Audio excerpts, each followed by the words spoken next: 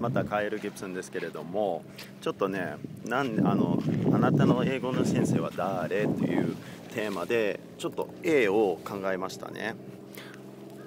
まあなんでなんで俺がいい先生になるかっていうとえー、っとこうね、えー、僕がえー、っと日本語話せない状態でした。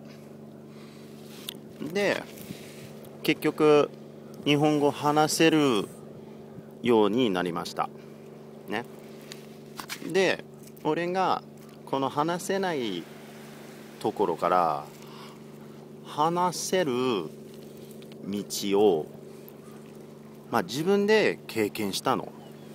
だから何が必要かって何するべきか何しない方がいいとかさその辛さもわかるしあのいろんな経験があったからこうやって話せない状態からこう話せる状態になるのがまあ日本語の場合ね俺分かっとるけど 英語って同じ話ですね。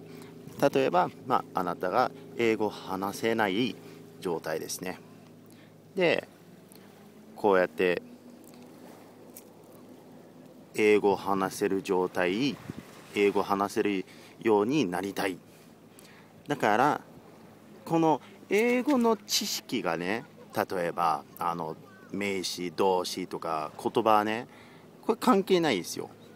ここそれがまあその知識って関係なくてこうこのどうやって学ぶどうやって勉強するかってそれが分かんないんでしょ？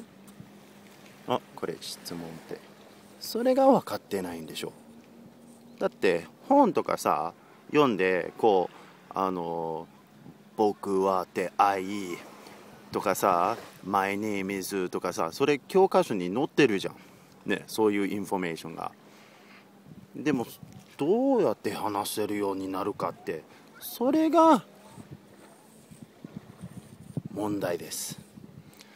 で例えばまあ俺が他の言語を、まあ、日本語だけどあの話せるようになったんじゃないですか。だからこの道を分かっとるだと思うんですよね。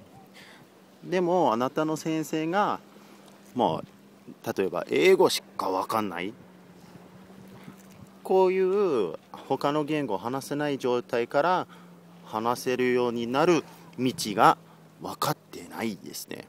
だからあのまあもし本気ね英語を話したいと思ったらえーと、あなたの先生ちゃんと選んでくださいね。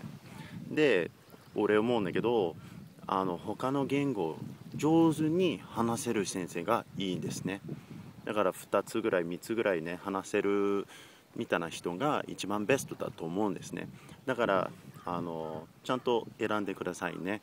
でもしあの今の先生が他の言語ができなかったら1つしか分かんなかったらちょっとね他の先生体験してください。ではねまた後でねバイバイ。